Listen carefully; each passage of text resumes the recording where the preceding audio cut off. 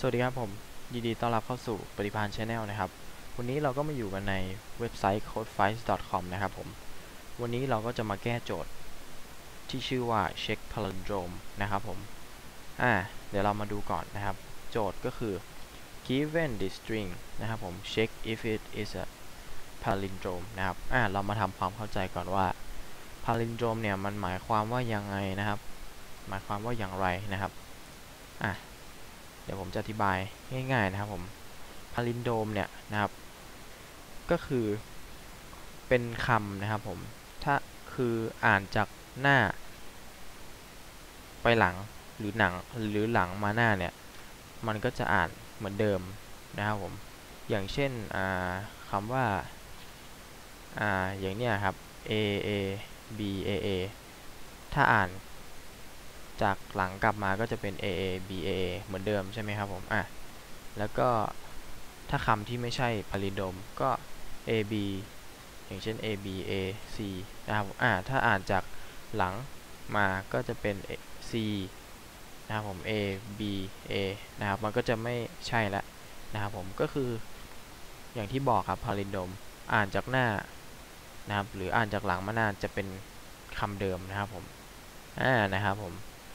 เดี๋ยวเราจะมาทำโจทย์แก้กันนะครับ ก็อันนี้เขาจะให้เช็คนะครับผม ถ้าเกิดว่าเป็นพาลินโดมเนี่ยนะครับผมอ่าเอาพุทเนี่ยก็จะเป็น true นะครับ แต่ถ้าไม่เป็นมันก็จะเป็น false ง่ายๆนะครับผมโอเคนะครับ อันนี้เราก็จะใช้ภาษา JavaScript นะครับผมใครที่จะใช้เป็นภาษาอื่นก็ได้นะครับ เลือกเลือกตรงนี้ได้เลยนะครับผม โอเคนะฮะ ก็ เราจะ return นะครับอะเรามาเริ่มแก้กันเลย เราจะ return นะครับผม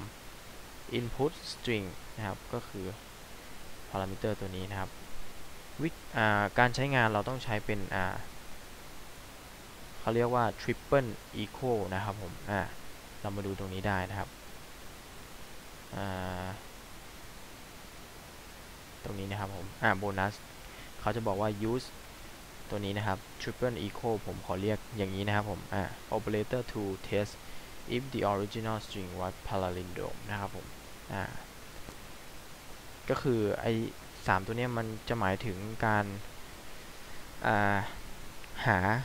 หาค่าเลยนะครับผม ถ้าสองตัวนี้ก็คือเท่ากับ แต่ถ้าสามตัวก็คือ ค่ามันเนี่ย เท่ากันไหมนะครับผม อ่าเท่ากับ input string นะครับผม จากนั้นเราจะใช้ method ที่ชื่อว่า split split split นะครับ split อ่าคือให้มันเหมือนกับให้มันแยกอ่าตัวอักษรแต่ละตัวนะครับผม แล้วก็ไปเก็บไว้ใน array นะครับผมอ่าอย่างเช่นเนี่ย เรามีคำนี้ใช่ไหมพอเราใช้อ่า method split เนี่ย มันก็จะแยกไอตัวนี้ไว้เป็นใน array อย่างนี้นะครับ อ่า อย่างเงี้ย เอาไว้ใน array อ่านะครับผมอ่าเราก็ต้องใส่ single quote ให้มันด้วยนะครับ จากนั้นก็จะใช้ method reverse นะครับผม reverse ก็เป็นการ คือเหมือนกับการ reverse นะครับ น่าจะรู้กันอยู่นะครับอะเดี๋ยวผมแปลให้ ก็คือเหมือนย้อนกลับนั่นเองนะครับ เช็คตัวอักษรหลังอ่าถอยหลังนะครับผมอ่าก็สมมติเป็นอย่างนี้ใช่ไหม อ่าอันนี้เป็นพาราลินโดมก็เช็คกลับหลังมานะครับผม reverse ทีนี้นะครับเมธอดสุดท้ายก็จะเป็นชื่อว่า joy นะครับ พอเรา reverse เสร็จเราก็จะให้มันต่อกันนะครับ joy ก็คือเหมือนเป็นการเอาเอาตัวอักษรเนี่ยมาต่อกันเหมือนเดิมนะครับ ดูว่ามันเหมือนเดิมไหมอ่าเราลองมารันเทสดูตึกอ่าเราจะเห็นได้ว่า เทสผ่านหมดเลยนะครับผมอะอันนี้ผ่าน A A B A A A B A C A นะครับผมอะผ่าน A ผ่านนะครับ A C ผ่านนะครับผมคือไอเนี้ยมันไม่เป็นพาลินโดมนะครับ ก็คือถูกนั่นเองมันเป็นฟอลก็ถูกแล้วนะครับอ่า A B A C A B A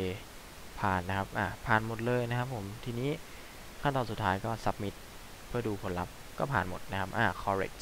เราก็จะได้คะแนนมานะครับผมโอเคนะครับ ก็สำหรับวิดีโอนี้ก็ขอจบวิธีการเช็คพาลินโดมไว้เพียงเท่านี้นะครับผมแล้วรอติดตามชมวิดีโอหน้านะครับผมสำหรับวันนี้ขอบคุณทุกท่านที่เข้ารับชมนะครับ ขอตัวลาไปก่อนสวัสดีครับ